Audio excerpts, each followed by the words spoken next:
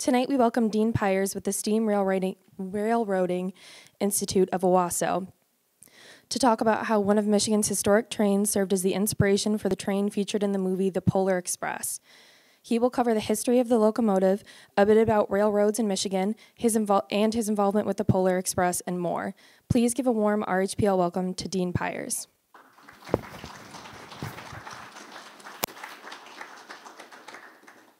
Good evening. Uh, thanks for inviting uh, the Steam Railroading Institute to speak this evening.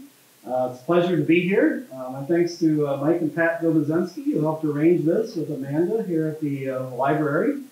I give Amanda a lot of credit. I do probably two or three of these presentations a year, and I think this is the first one where people I know outside of work or outside of the Institute were texting me or emailing me saying, Are you giving a talk on Tuesday night in Rochester? What, what's going on? So she did a fine job of advertising here, here in town. So we appreciate that. Um, I'm a volunteer at the Steam Railroading Institute. Any other any other members of our group that um, I don't see here? So yeah, uh, in normal life, I work uh, for General Motors as an engineer. So everybody you see in the photographs, or most of the people that you see here, are volunteers. We have a few paid staff uh, at the institute, but we take care of and operate Père 1225, and we'll talk a little bit about the history of, the, of that particular steam locomotive and our involvement uh, in the past uh, 10, uh, 13 years with the Polar Express movie and how uh, our locomotive became the model for uh, the movie. Uh, well, I'll give you a brief overview of what we do at the museum in Owosso. Uh, a short little history about railroads in Michigan and the impact that it had on our state and this area and the, the Great Lakes region. A little bit of history about railroads here in Rochester, in the Rochester Hills. And then we'll get into the history of the Père Marquette 1225 and the group that has restored and operated operates it. Our mission statement at uh, the Steam Railroading Institute, and for those of you who aren't familiar with where Owosso is located, it's between uh, Flint and Lansing. It's about 20 miles due west of Flint on M21. And our mission statement is to educate the public about steam era technology, railroad technology, and the impact it had on the culture and economy of the Great Lakes region. We do that by safely operating. We do operate the locomotive uh, to uh, now, uh, preserving it and exhibiting and interpreting other historic railroad equipment. Uh, we sit on about seven acres. Owosso is a former uh, backshop town of the Ann Arbor Railroad. Uh, the Ann Arbor line went from Toledo up through Ann Arbor, naturally, uh, through Owosso, and then up into Mount Pleasant, Clare, and Cadillac, kind of cut uh, southeast and northwest across the state of Michigan.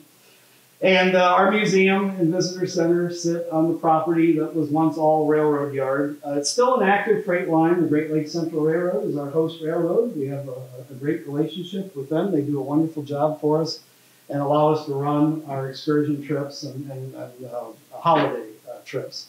And during the week, they're hauling freight through those through those cities, through those towns of, of mid Michigan. Um, our visitor center is a former uh, a warehouse, uh, granary and dairy building uh, that was in Owosso. So we have a small museum there. And then, like I said, everybody you see in the photographs that is in either maintenance clothes or car host clothes, we're all volunteers. We have four paid staff members, uh, executive director, uh, chief mechanic, uh, an assistant mechanic, and a couple people in the office. And other than that, everybody you interact with, if you came up to visit us, is a volunteer. So, so keep that in mind while you're asking me questions tonight, right? Uh, there are lots of different chores and tasks. Not all of us are machinists or professional uh, railroaders. Uh, we come from the auto industry, from school teaching, uh, uh, insurance, a uh, variety of different fields that we volunteer uh, for, and so there are different jobs. And we hope that when people come, uh, we're giving some magical memories that last a lifetime. Everybody say, "Oh." Even though those kids that we use in that photo are probably in college right now.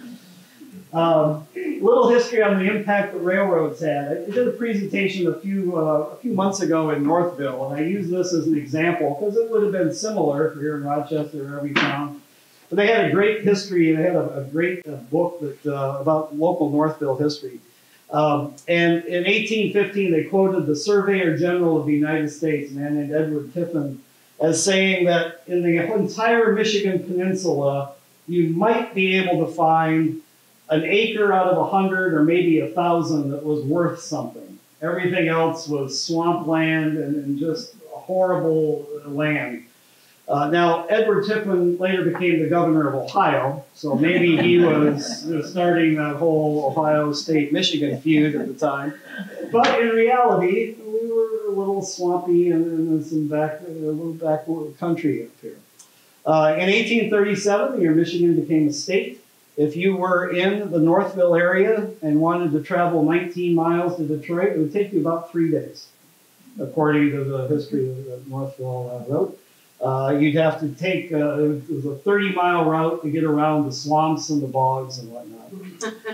um, by 1869, 1870, now railroads are starting to come to Michigan. They're starting to be built, and towns would petition or, or start campaigns and investment campaigns to try to encourage railroads to come to their town. And that, in fact, happened then in uh, Northville the Holly, Wayne, Monroe Railroad began construction through those uh, three towns from north to south. Or, uh, from, they started in, in, Wayne, moving north actually, from, from, from uh, south to north. And the first train arrived in Northville in May, May 27, 1871, to much fanfare.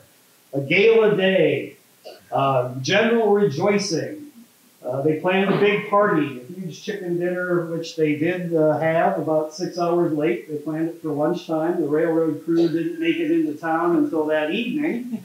But they got the band back together and marched up to the town hotel and fed everyone. And in my favorite quote of all the historical research I've ever worked on, contrary to popular opinion, the evening passed quietly because the railroad workers just sang a few songs and didn't cause any trouble. So we want your railroad to come to town, but then get out as fast as you can. You know, they, they were afraid that they were going to terrorize the village, which apparently they did not. So um, I like using this map. Uh, we should all recognize it as this, our state, uh, our fair state, the Lower Peninsula. What are the lines, when you see all the lines on the map, what do you, what do, what do you see? What are those? What are the lines? Somebody's cheating. So, yeah, okay, you're supposed to say roads. When we look at it today, we would see highway systems. We'd see I 75 cutting up to the center of the state. Oops, that was the wrong button. Uh, up, to the, up through the middle of the state. Uh, Uh, US 94 going over through Jackson and down into Chicago, I 96 up to Grand Rapids. This map is actually from 1912 or 1913, and it was a railroad map. If our great grandparents looked at that map, they would also recognize Michigan. They'd recognize all those lines, but rather than calling them highways, they would be able to name the railroad lines that they by and large, the modern highway system pretty much follows those old uh, old railroad lines. Uh, here in Rochester, uh, also about in the 1871, 1872 time frame, the railroad started to arrive here in Rochester. You had a couple of lines that joined here. Uh, the Detroit and Bay City Railroad, uh, linking those two cities, came through uh, in October of 1872 we can assume that there was you know, general uh, uh, uh, happiness and joy that that had happened uh, here in town. That line, the north-south line through town, became part of the New York Central, uh, or part of the Michigan Central Railroad, and later the New York Central system. Uh, the Penn Central abandoned that route in uh, March of 1976, and it was later converted to a trail, Paint Creek Trail, which I'll talk about at the end of the presentation. You also had passing through town here uh, Grand Trunk Western line uh, between Pontiac and Richmond. So there was an east-west line and a north-south line, which was very important. That was a big deal to be able to go all four directions at any given time from a single location. So Uh, it would bring prosperity. You had you know, the woolen mill, which was shipping uh, uh, gloves and, and shirts and, and, clothing by that point, as well as all the agricultural, various agricultural products would have gone out by rail in those days. We also had an interurban line. The interurban system was an electrified uh, line. It was uh, standard gauge, but uh, considered somewhat more like a streetcar or a trolley car. Uh, they were very popular in the early part of the century for about the first 20, 30 years of the 1900s. Um, uh, mostly all gone by the 1930s. A few lasted into the 1950s but the line through uh, Rochester connected uh, with Royal Oak and Flint. And then there was a branch line off uh, towards um, uh, Romeo and, and Lapeer. Um, one thing I should mention, if you're interested in, in, more details, if you've ever visited the website michiganrailroads.com, uh, it's a wonderful resource for railroad history here in Michigan. They have literally thousands of images scanned. It's a fabulous website if you want to dig deeper into uh, railroad related history events or things that happened here in the state.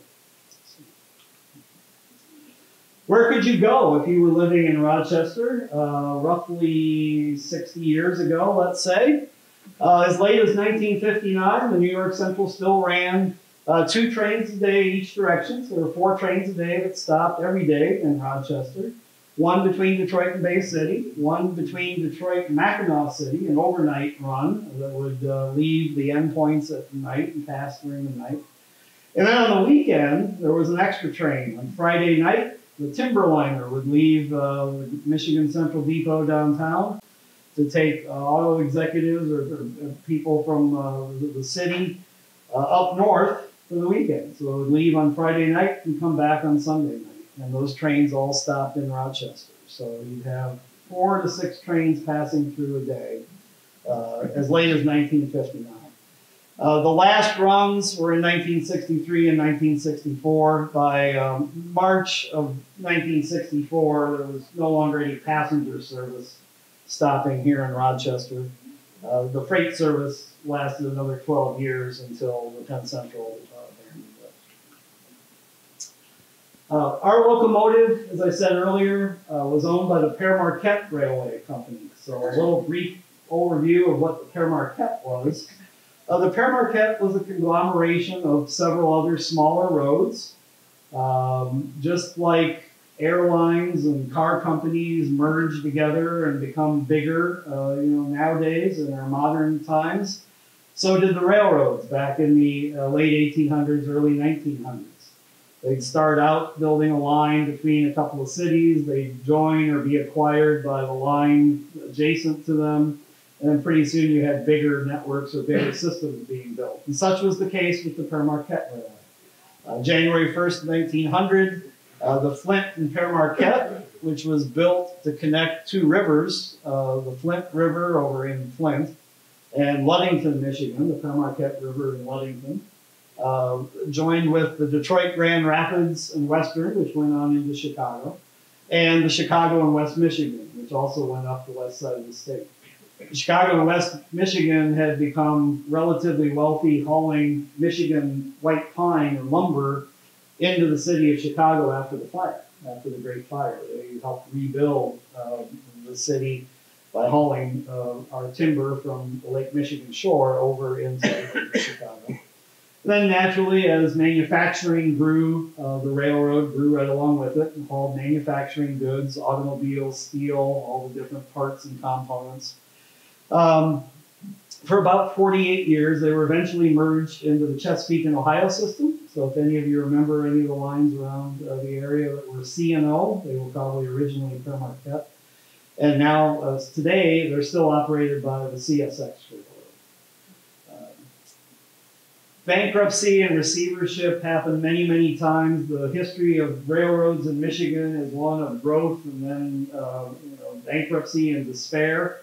Railroads make their money by hauling freight long distances. Uh, what do we run into if we go 200 miles in almost any direction in Michigan? Water. We run into water. So it's hard to get a long haul. We're at a peninsula. Uh, it's a lot of effort to get across the lake, although the Michigan railroads did make the best of it. Um, as early as 1890, it was a real nuisance to get through Chicago. Freight trains would go in and just never come out. It took three weeks to get freight through. It was a big hassle. So the Michigan line said, we'll, we'll, invest, we'll, we'll invent some car ferries. We'll advertise to all those manufacturers in the East, in New York and Massachusetts. Hey, you can shortcut Chicago. Give it to us. Give the freight to us.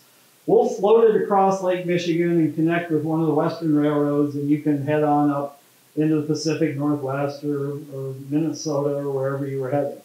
And they were pretty successful at that. That, that lasted about 90 years, up until about 1980 when the, the last uh, of the Lake Michigan Railroad ferries uh, operated.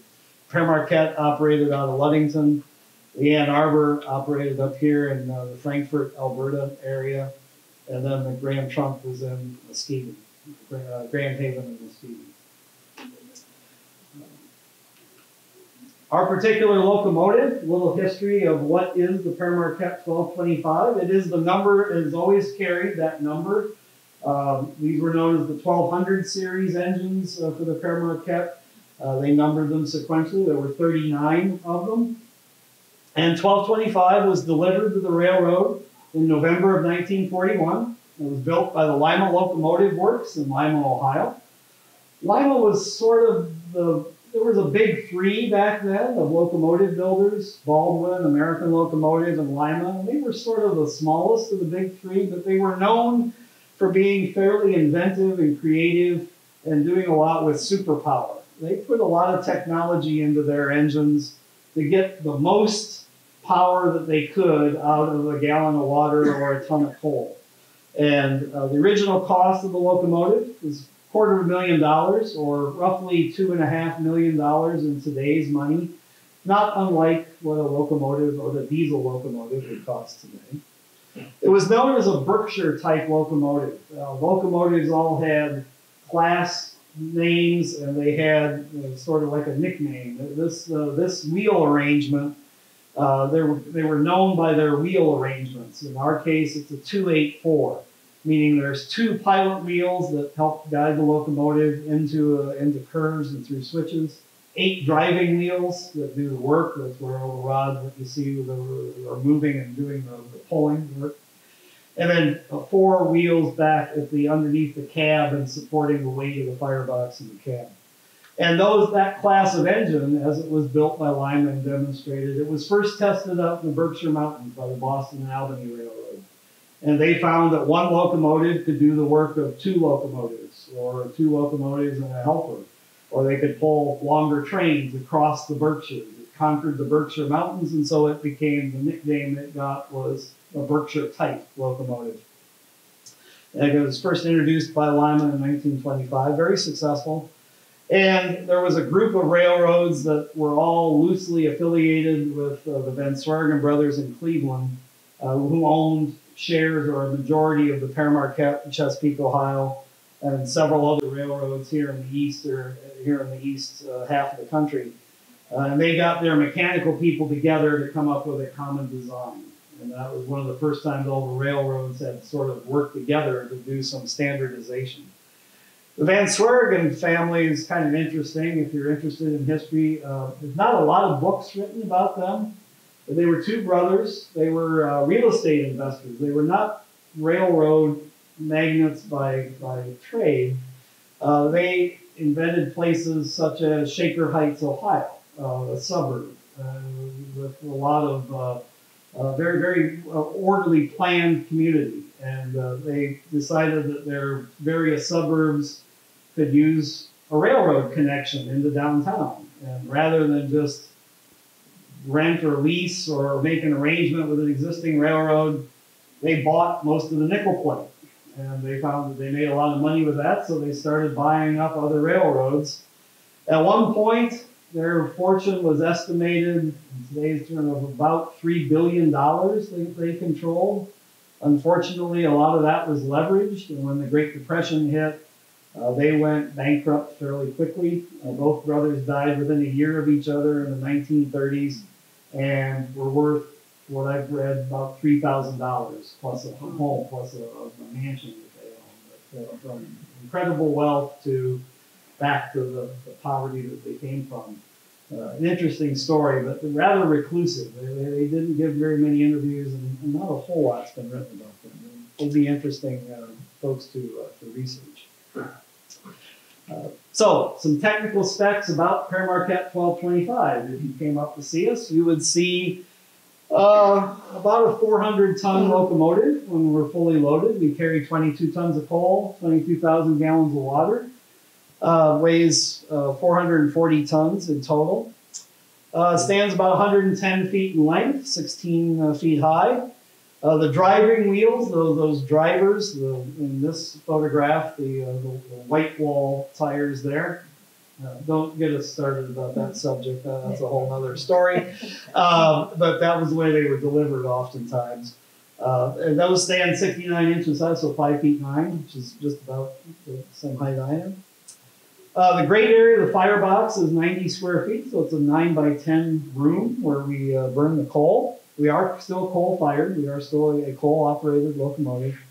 And uh, operating maximum pressure on the boiler is 245 pounds, or maximum operating pressure is 245 pounds. There are safety devices that lift. I mean, it's difficult to keep a perfect balance on steam pressure.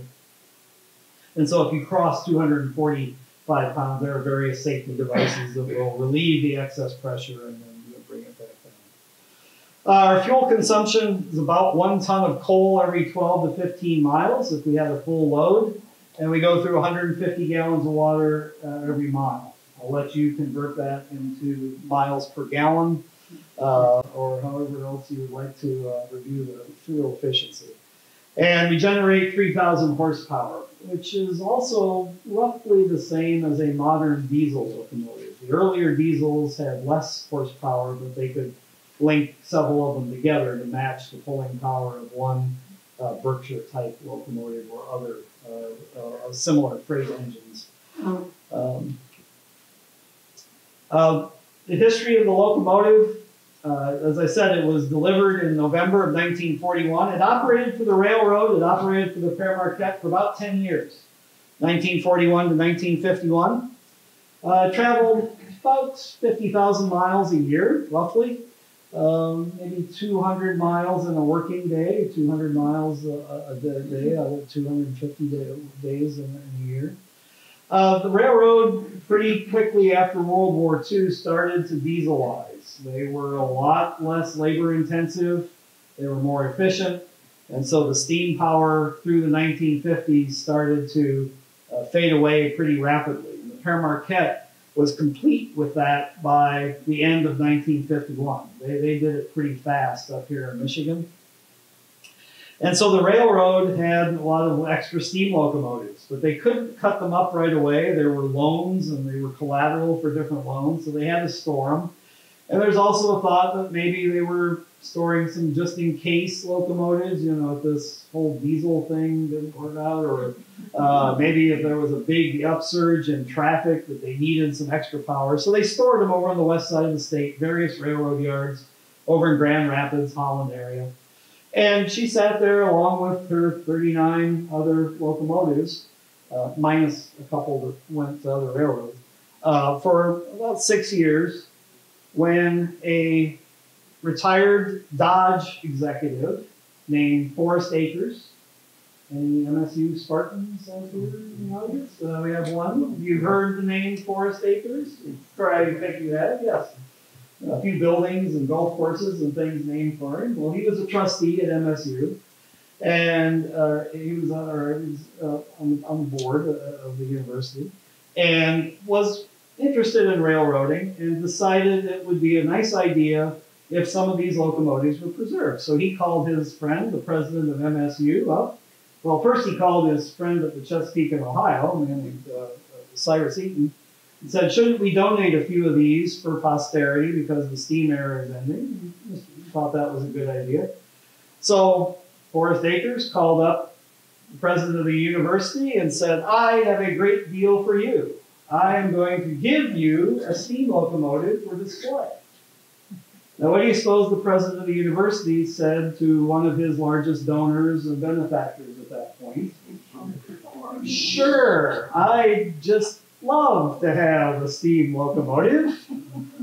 Didn't know exactly what he was going to do with it. The, the dean of the engineering college wasn't interested. The dean of the engineering college said, "Our students are learning electronics and space flight. What, what, what can a steam locomotive teach us?" But the museum took it, and it sat on display up near Spartan Stadium on the spur near the old power plant uh, for many for several years after that. So if you attended a, a Michigan State football game between 1957 and roughly 1982, I think it was, and you remember seeing a steam locomotive on site, this was the locomotive. Um, there was then a group uh, of students actually that formed in the 1969-1970 school year. A group of students got together to take care of the locomotive and open it up more frequently for tours and, and just generally restore it. And uh, a couple of those members decided, wouldn't it, shouldn't we try to restore it? Wouldn't it be fun to restore the locomotive? There was some steam preservation going on in those days. And they thought they'd haul football specials, the football fan trips to Columbus or South Bend or Ann Arbor or wherever. Uh, the first newsletter of the Michigan State Railroad Club probably thought that it would take them three or four years and they'd have the locomotive running. Hmm. It took 18, but they did succeed in getting it running again, and it still runs today. And some of those founding members are still part of our group and even very active and, and on our board of directors for the last, um, uh, what's it been now? Uh, close to close, coming up on 50 years, uh, I think, next fall. Um, so the MSU Railroad Club is it, they've eventually spun off. There's no relationship with MSU anymore. we're an independent group. The Steam Railroading Institute and Michigan State Trust for Railway Preservation became independent group. And in 2004, we were fortunate enough to serve as technical advisors for the Polar Express movie. Uh, people ask how that occurred. How did we wind up being the, the, the, model or being the animation source for the Polar Express. And I've got some video clips coming up here next that we'll, we'll go through. Um, basically, you know, a lot of it's being at the right place at the right time. We had an executive director on staff at that point, Dennis Brady. Uh, was our uh, was our executive director. He was in the office one day and took a phone call. Literally took a phone call out of the blue uh, from uh, Lucas Sound or Skywalker Sound and the people who were working on the locomotive who said, uh, We hear you have a steam locomotive. Yes well, we've called the Smithsonian, we've called the Henry Ford Museum. We're looking for one that operates. That's our locomotive operates. You have video that you could, recent video. Yes, we have video. We have all the blueprints and drawings that we can use to help us with our drawings and sketches. Turns out we do. We happen to have an almost complete set of blueprints that were salvaged uh, from the dumpster, literally as they were being thrown out at the shops in Grand Rapids area. And so we basically had everything that they um, uh, could want. And so we became the technical advisor. If you wait till the very, very end of the credits in the movie, you'll see the Steam Railroading Institute listed as the locomotive advisor for the movie. The sound was recorded here in Michigan, all the railroad sounds, including uh, you know the, the, whistle, the bell, the sound of uh, uh, the air compressors and all the different noises that the train makes when it starts or stops was all recorded over a couple of day period up uh, near Owosso and some of our branch line track up through Henderson and Owosso, uh, including the sound that the kids make sliding down the coal pile. That's one of our firemen uh, that operates from, from Windsor, Ontario. Uh, they had a whole list of sound effects. They said, what would it sound like if a couple small kids fell down a coal pile? And kind of looked at each other and said, well, we don't really know, but we can send one of our firemen up to the top of the pile and find out. And so they recorded him sliding down, sliding down the pole. Uh, little hit before I get back into the Polar Express stories. A little, uh, you know, history. Uh, pretty small office in the student union, and working outside. One of the early uh, student volunteers, starting to work on the locomotive out in the elements outside, just around a, a, a cyclone fence, or just around a, a basic chicken wire fence. Uh, on average, we've had maybe 400 to 600 museum members through the year, uh, per year. There's been about 3,000, I think, the best recollection we can figure, who've come through the organization at different times. And probably only 20 or 30 active people really working on the locomotive at any given time. We're a little higher than that now. Uh, and we have uh, an equal number or more car hosts doing uh, some of our, our car host duties with our trips. But as far as people, you know, maintaining the locomotive, not really a whole lot. Uh, but um, you can get a lot done with uh, consistent long-term effort, um, and uh, you know, 20% of your organization kind of keeps plugging away at it. You can make uh, some pretty good progress. Um, this is a photo of uh, those early days as they got started on the locomotive. You can see, you know, it was just it was just out out in the out in the lawn uh, there outside the stadium and the power plant. Um, first fire up. Now we did find we do have a video. We'll see if we can get this to work here.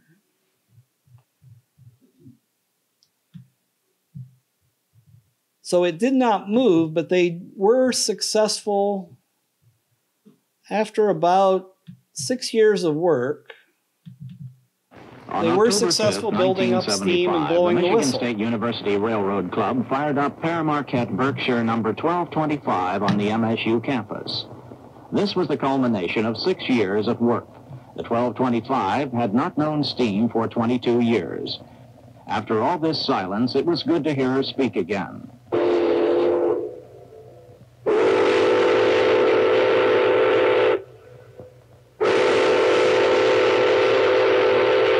After so many years as a silent showpiece, the cab was once more the center of activity. The restoration is well along towards the day when cracking this throttle will set her 400 tons in motion again.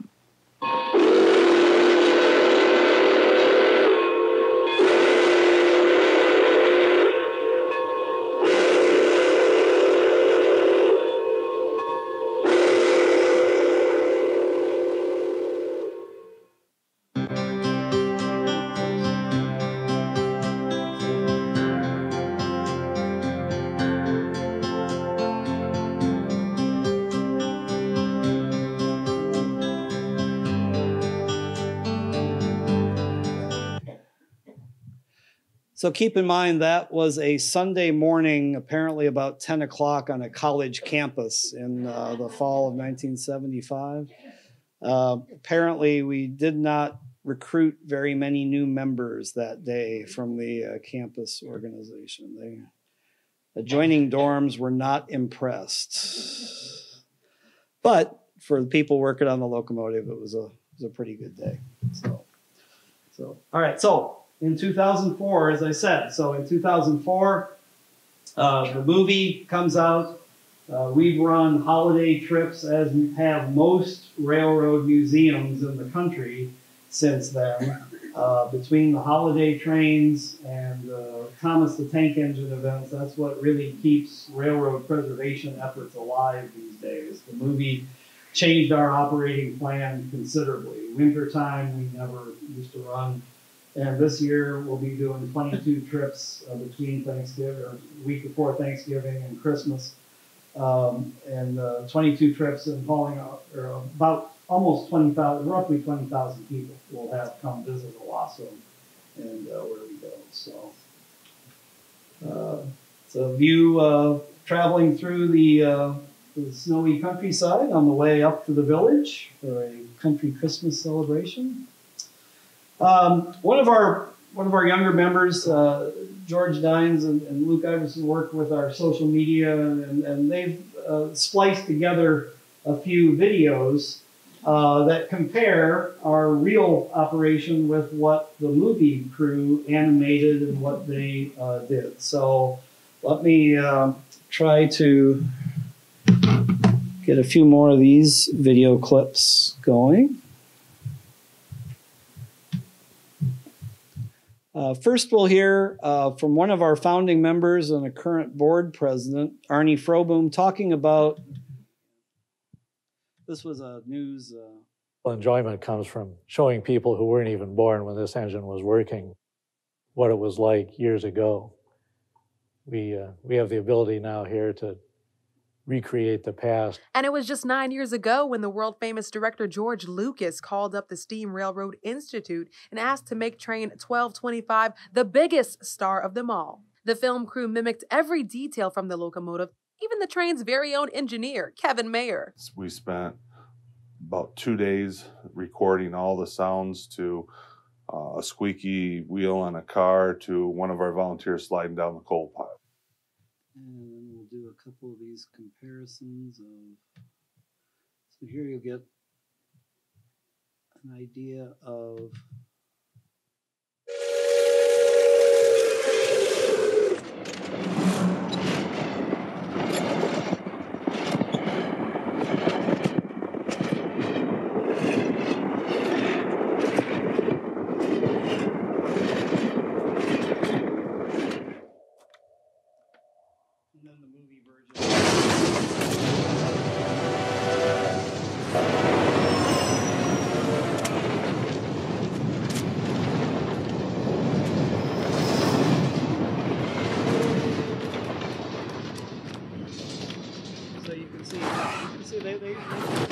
Detail into the. Uh,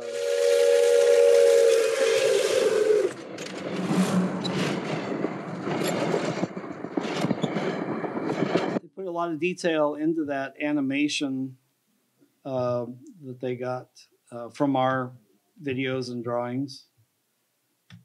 And then the last one I'll try to show here.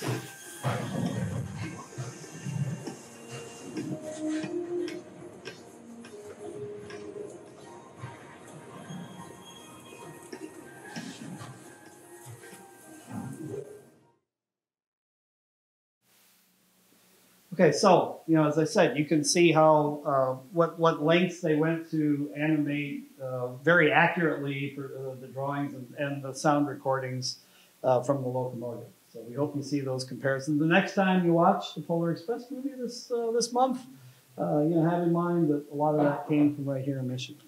So, all right. So one of the other questions we get a lot is how do you keep something that was built 75, 78 years ago, uh, operating uh, in the, the 21st century. What does it take to do this? Because a lot of the infrastructure, the water towers, the coaling towers, the roundhouses that employed a couple hundred Boilermakers, they're not around anymore. So how do you do this? Well, that's the, uh, it, interestingly enough, there are still federal regulations that govern steam locomotives. We're inspected every year by a man from the Federal Railway Administration. Uh, now he has other duties in the region. I mean, he's out with the uh, the current railroads as well. But they're familiar with all the steam rules and regulations. They check our boiler tests and and a number of other things that they do. And every 15 years, you need to take the engine apart and do an inspection and replace the tubes and flues. Um, this is normal maintenance from back in the 1930s and 40s, uh, but it's a big deal for us nowadays at a museum. And our last inspection, our, our downtime period, was from 2009 to 2013. It took us about four years to complete the process, which is actually fairly fairly quick for a, a, a volunteer tourist railroad type museum. Um, and this time we did more than just the tube, we did the hook firebox. And so at this point, I used my little prop that I carry with me. It's not just a water bottle, it's a steam locomotive boiler. Okay, so this is basically the way a steam locomotive works, if you're not familiar. Uh, the round part of the boiler is, in fact, filled up with water, about three quarters water, and the steam builds up at the top. If I took my thumb and just made a big indentation back here at the back, I would be essentially building the firebox. That's where we build the coal fire. Uh, the floor of that area is open to the air. There are grates that move, and we throw the coal on top of those grates. And you can see if I push further in, I'd have a big indentation, and I'd have an inner firebox sheet and an outer wall sheet. The inner firebox sheet is where all the heat transfer, where all the work goes, and that metal gets you know stressed out. And after 75 years, after well, after 65 years since the last major outshopping, it was ready to be fully, completely replaced. So, in addition to that firebox area, passing through the boiler are 240 flues and tubes, a couple different sizes. Nominally, I think it's three, three and a half inches. I think, uh, uh, are the, the larger pipes, and all those have to come out. Uh, then the boiler shell is inspected 100% all the way around. You have to be able to see uh, the boiler shell and take a visual and thickness measurement with ultrasound uh, thickness equipment. So to do all that, uh, we start tearing the locomotive apart. And smoke box door comes open. Those tubes and flues you see uh, up in there uh, start coming out of the, the boiler. Uh, the cab, this time, because of the major rebuild, the, the, cab came off the engine, the sand dome, we had parts scattered all around the, the shop and the yard. This is a view inside the boiler. This is where that firebox would be. You see these uh, stay bolts support the top of the, the, the, sheet or of that box area that I demonstrated. And then there's a, a new piece of metal that's forming the inner sheet over here. And we've got some also some stay bolts that are going out to the outer shell. That holds the firebox area up. Um, uh, fabricating the new sheets. Uh, we have some tools. We also have, there's other steam operators that have additional tools. This, I believe, was at the Strasburg Railroad in Pennsylvania. Um, there were a few other shops that helped us out with different uh, parts and forming the sheet, the metal that was going to go into the new firebox or into the boiler.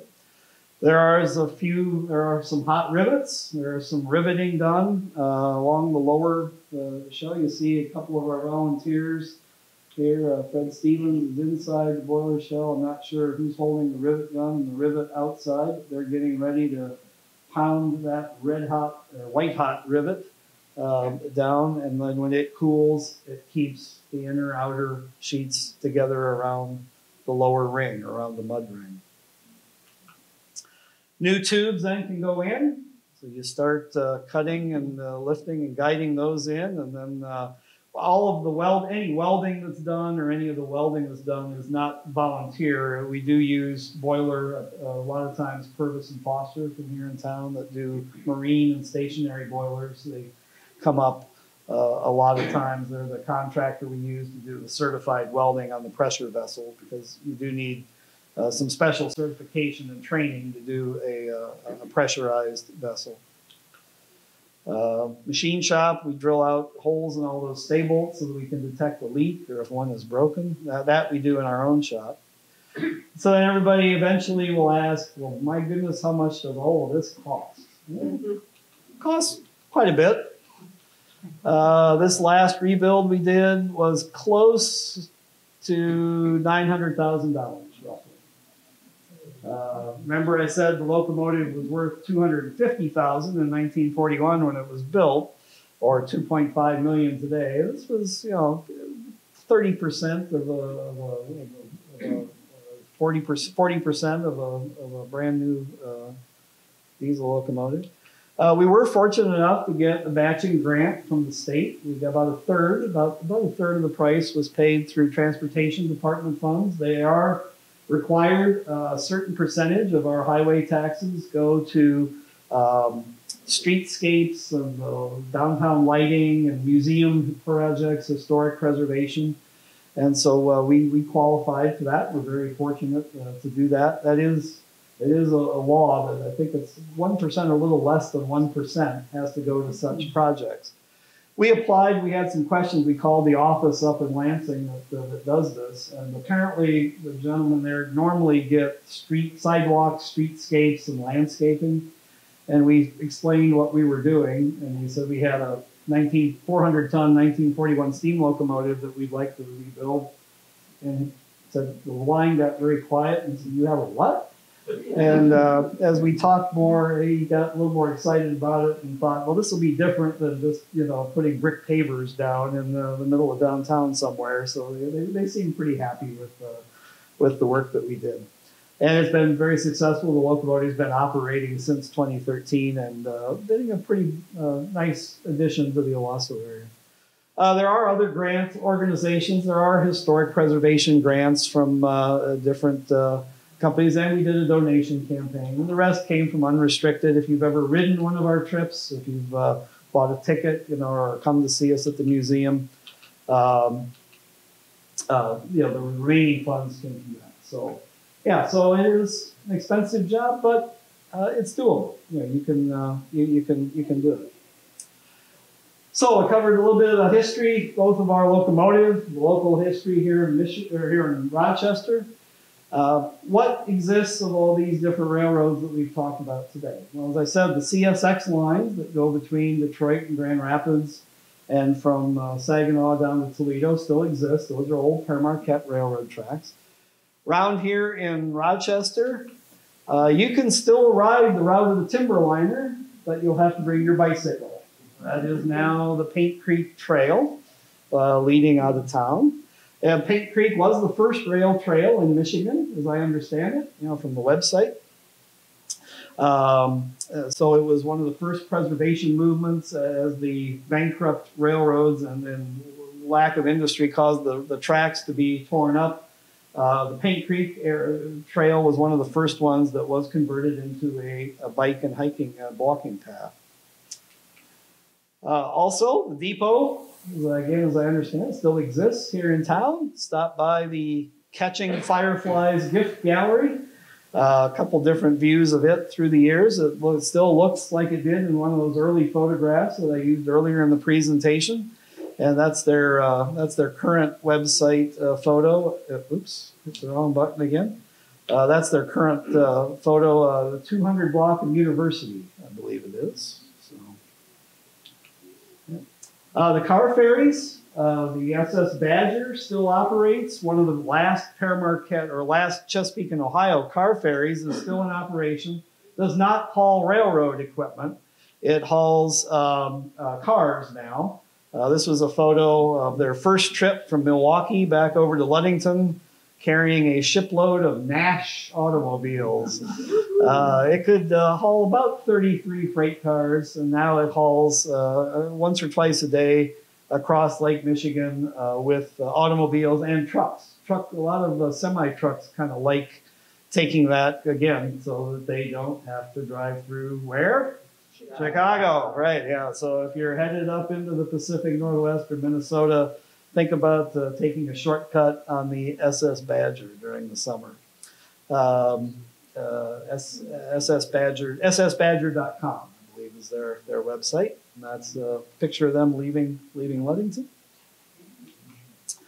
Uh, right here, closer to home, uh, for the next few weekends, over at the Van Hoosen Museum, the Stony Creek Model Railroad Club will be set up, and you can see a variety of scenes, uh, both from around the area and uh, other you know, fanciful scenes from around the country that have been developed by model railroaders. Open to the public 12 to 3 p.m. on Saturdays and Sundays, and then the week in between Christmas and New Year's, the 26th to the 29th. So stop on over at the Van Hoosen uh, farm and the, uh, the display barn there.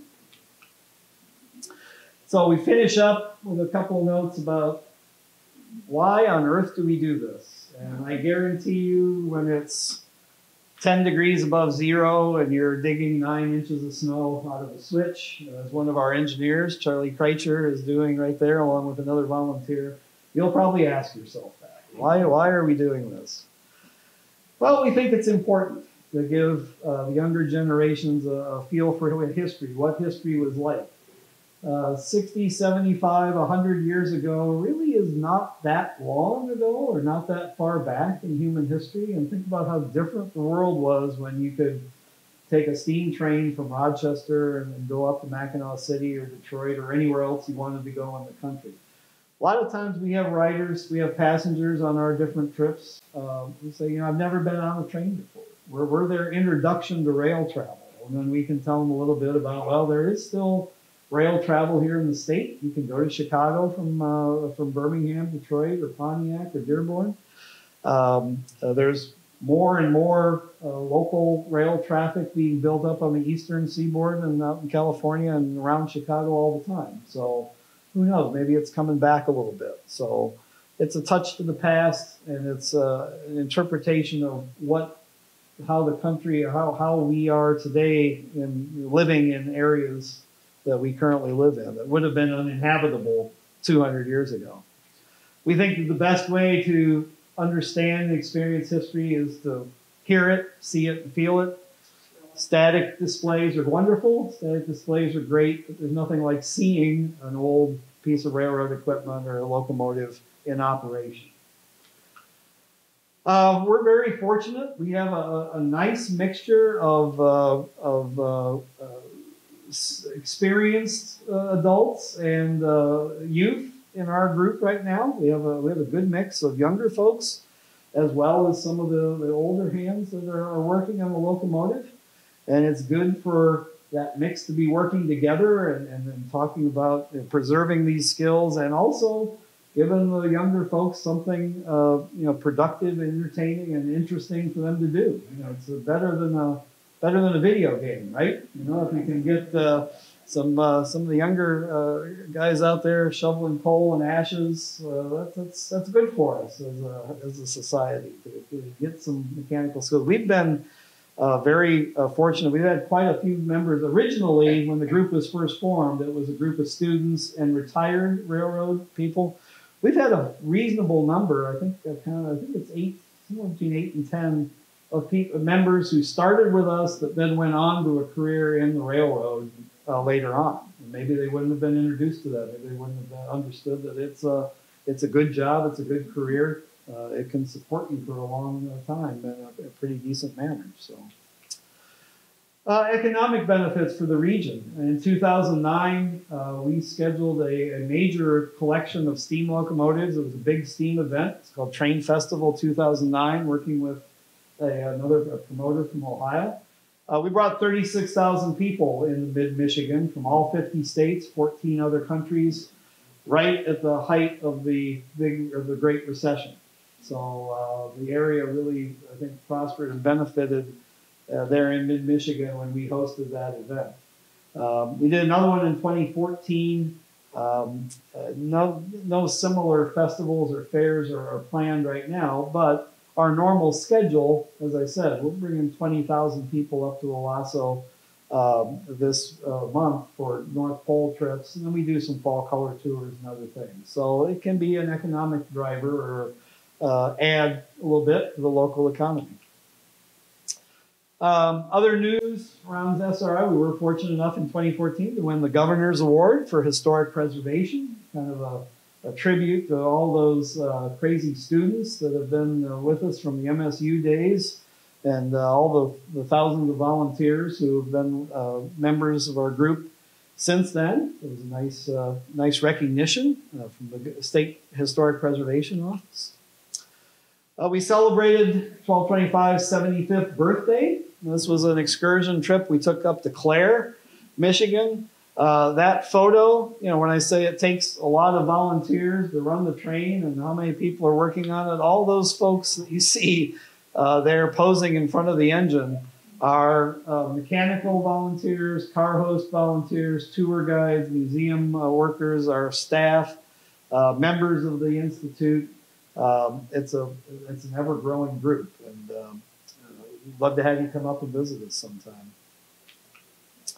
Our next project, we've acquired a smaller locomotive. This is a little uh, a little brother, if you will, to uh, 1225.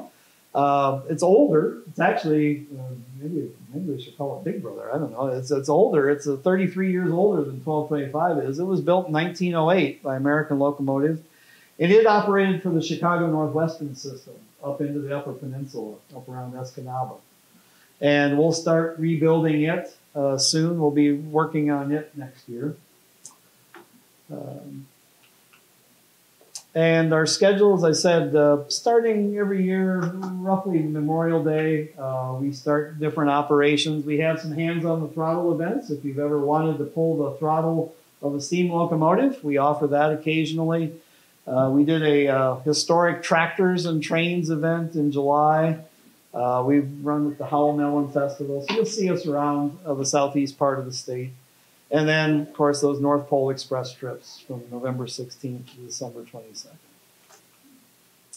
There's a few books out about the 1225 if you're interested in more. I will uh, leave one of them with the library. I'll donate that one.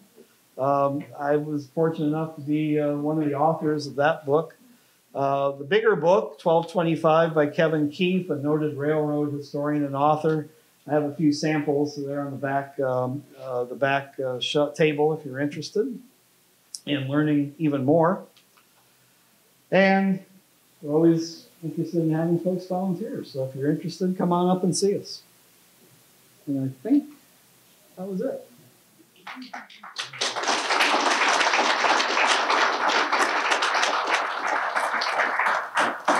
Any questions? Yes.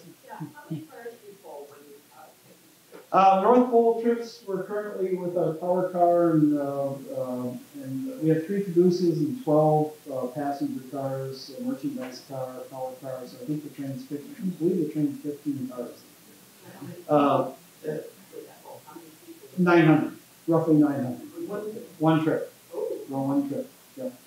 And the village, and the village, we're, in in Santa's village is a town of about five hundred people. So we double, we, uh, we triple, we double up their size, uh, when we, every time we arrive. Yeah, yeah, yeah. Yeah, uh, back in the day, it, it, it has pulled as many as thirty passenger cars on an excursion trip in nineteen ninety-one. And back in the day, it could haul 80, 70, 80 to ninety freight cars at sixty miles an hour across the state of Michigan. We do. We own. Uh, we, we own. We own the caboose. We own three cabooses. We own uh, one, two, three, four passenger cars now. We borrow one from the rail, the, our post railroad, Great Lakes Central. They own a passenger car. We get a couple of cars from them. There are other car leasing organizations. Uh, five of our cars are the uh, double decker uh, uh, cars that were purchased by the state for commuter service that has not yet um, uh, materialized. But we lease, but, but we lease them every year for our North Pole trips right now. So five of those cars in the current list are those double deckers in. There's other sources around that you can you can lease from, but we're we're pretty we're pretty independent, especially with the fall forward trips. Yes, sir.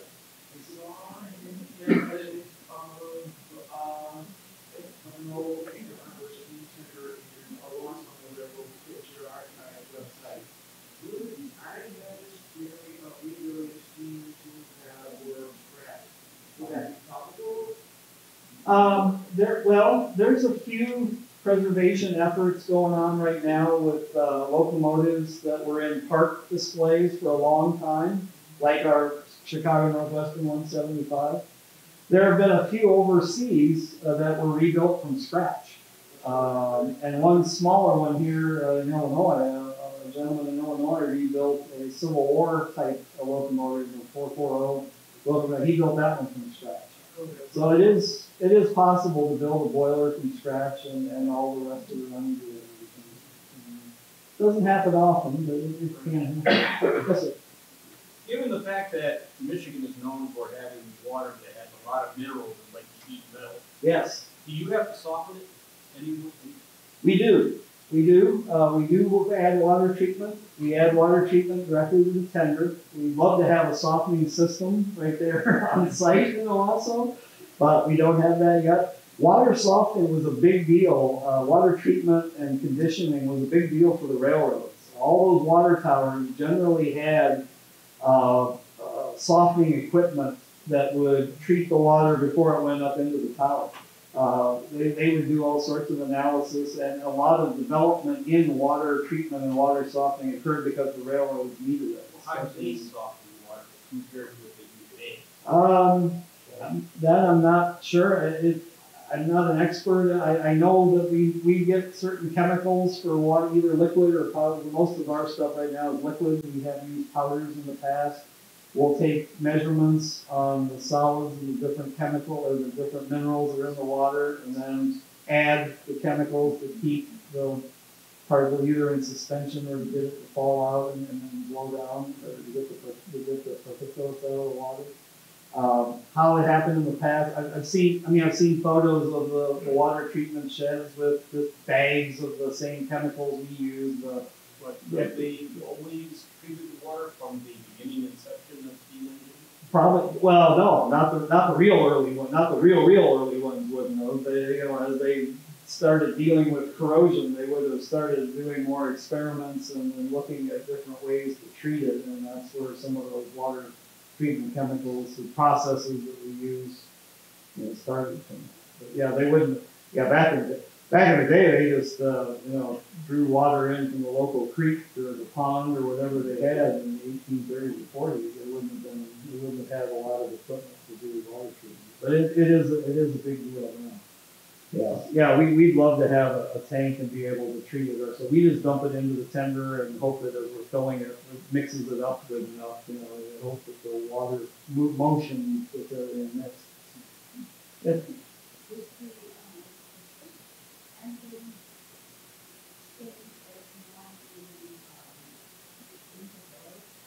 No, uh, no, Big Wind and Greenfield Village, so they were, uh, that was, that's also Chesapeake and Ohio but that's actually bigger than ours. Uh, we have eight sets, we have eight driving wheels with four axles. That one at the village, uh, that has, uh, uh, twelve, six axles, that has two more axles than we do. It's an articulated locomotive, it's about, I think it's twenty feet longer than our locomotive, ten or twenty feet longer. It's one of the, it's, it's one of the biggest ones. Uh, There were some that were slightly, there were some that were even a little bit bigger out west. The Union Pacific ran some that were even bigger. But the one at Greenfield Village is even a little bit larger than ours. That, that one, that the village did not operate in Michigan. That was a, um, Chesapeake and Ohio Hocking Valley, and it ran to Toledo, the coal docks at Toledo up from West Virginia. I don't believe it ever came up into Michigan other than to go on display. But, uh, Last Friday night, I was fortunate enough to take the grandkids on the trip. Oh, Um, it was pulled up by the, uh, twelve twenty-five, Mhm. but on the return trip, I could tell by the horn and the Yeah. speed, quite frankly, it was pulled by a we diesel. have a diesel on the back, yeah. Is, is that yours and you run it? Uh, we, we, we, uh, we uh, lease that from the Great Lakes Central Railroad. We have our crew, uh, sometimes we have a Great Lakes Central crew, sometimes it's one of our people. Uh, I'm not sure who, I don't remember who was running on Friday. But there's no place to turn the locomotive up at the village, up I, I was, I was gonna ask that. Yeah, we question. can't turn the train. How far does the train have to go before it can turn? Uh, there's a Y in Alma and uh, one up in Cadillac. We have a turntable in Owosso, so we can turn ourselves. The, the issue is uh, other places to turn along the route, and where we stop for the for the Sanford Village, it's not. Uh, there's no place to turn I was train. how that. Yeah, so we just do we just do push pull. Twelve twenty five goes north, and then the diesel pulls it back. That's when, when she had it at the fairground. Yeah, yeah, yeah. We did that same. way. Yeah, we did that same little road in Chesapeake. Uh, Speedways. Speedway, yeah. Speedways and, and. Sometimes we're in a sometimes we're in a hurry to get home. yes, sir. How long does it take to get ahead of steam? Um, we'll start. Uh, so our first trips are um, uh, Friday night at six p.m. We'll start the process overnight on uh, Thursday night, somewhere between midnight and three a.m. We'll light the fire off. Um, it, it, it's you can do it about it's about an eight-hour process to bring it up nice and slow. And then there's you have to do some testing of the safety appliances, and there's a whole routine you have to go through to check everything out for that weekend or for that trip. Depending on how long it's been since it ran last. Um, well, eight to twelve hours is, is about what we'll take to dig them up. Yes, yes, we do. Uh, out on the, now out on the road, we have a we have a stoker motor. Uh, we, we do have an auger that feeds coal in automatically. that Firemen can use. But when we're just sitting in the yard or overnight, when we're just tending the fire in between uh, Saturday and Sunday trips, there'll be a crew on board, and we hand fire or use the stoker. But yeah, you can still throw coal in. I mean, yeah. Yeah. And after 20 years, I still can't hit the front corner of the fire. I, I do that once in a while. I do, I, I, I do some of the night watch tending sometimes. It's interesting. It's an interesting balance to try to keep everything, you know, the fire burning and the steam pressure on. it. And so it's all, uh, there's no automatic control on it. You just have to monitor everything and do it yourself. I got there early enough to, to see it on the site. And- And before it started to move, it let off a tremendous amount of steam. Yeah. It seems like it needed that steam to move. Why did it release all that? So. So if it was coming, so if it was, if the steam exhaust that you saw was coming from the lower portion of the cylinders, uh, we open up some valves, cylinder tops there, to, to blow out wet heat, water or condensation. You can compress and expand steam. It's very difficult to do that with liquid water, and you can really damage things if there's too much liquid water in it. So the engineer opens up those cylinder tops to let that exhaust out until we're convinced that there's no more water, you know, in there. And then he closes it off and it gets, it gets quieter again, right? You know, it, all that escaping steam stops and then it's only going out the stack. Um, yeah, that, that's just a gift, that's just a gift, all, everything working and make sure that there's no water in the cylinder. Yes, yes, yes, it's a, it's a, it's a good show, yeah. What's the difference between um, the black smoke and the white smoke? Black smoke and white smoke. Okay, so um, uh, white smoke is strictly is just steam. That's just the steam exhaust. When that steam that was uh, up in the top of the boiler is released, the engineer opens the valves, release it down into the cylinders, and removing the rods. After that steam does its work, it goes back out the stack. If we have a nice, crisp, clean fire going, all you'll see is white steam coming out. That's just steam exhaust. If it's black smoke, it's one of the rookie firemen like me who's put a little too much coal in there and we're not burning quite as clean or hot as we should be. And, uh, you know, we have signs in the lobby of black smoke is bad, you know, we try, we try to keep it clean. Then sometimes you do it for photography.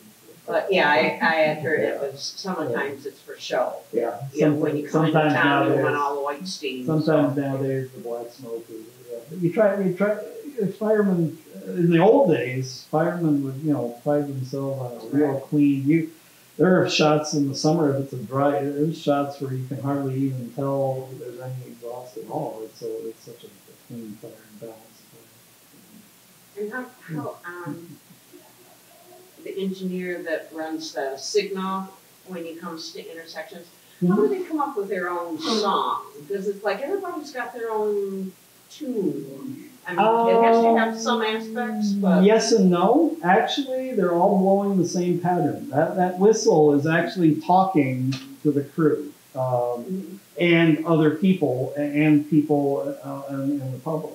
Uh, today, the diesels use the same two two long blasts, a short and a long. That's a grade crossing. You're approaching a grade crossing. We get two long blasts on the whistle, one short one, one long one. Uh, one long blast, we've stopped and the engine's secure and we can get off the train. Two, we're going forward. Three short, we're going to back up. They had a whole pattern. It was almost like Morse. It was, it was a lot like Morse code, really, uh, because in the old days before radios, somebody in the caboose or elsewhere uh, in the train, they could be half a mile, almost a mile away. You know, and so to communicate with the lo- what the locomotive was doing, they had whistle signals that they used, and those are still in use today.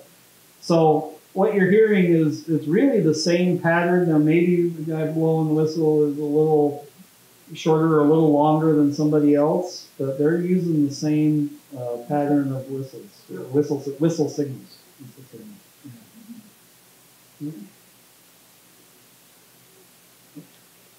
What did they uh, haul during the war?